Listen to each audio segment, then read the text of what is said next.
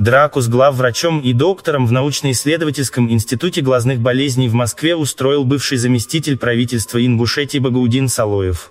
По нашим данным, 64-летний мужчина, обратившийся за медицинской помощью, несколько раз ударил врачей. Конфликт произошел днем 9 ноября. Салоев объяснил, что ему якобы не понравилось поведение докторов. В ситуации разбираются сотрудники правоохранительных органов. По факту инцидента проводится проверка.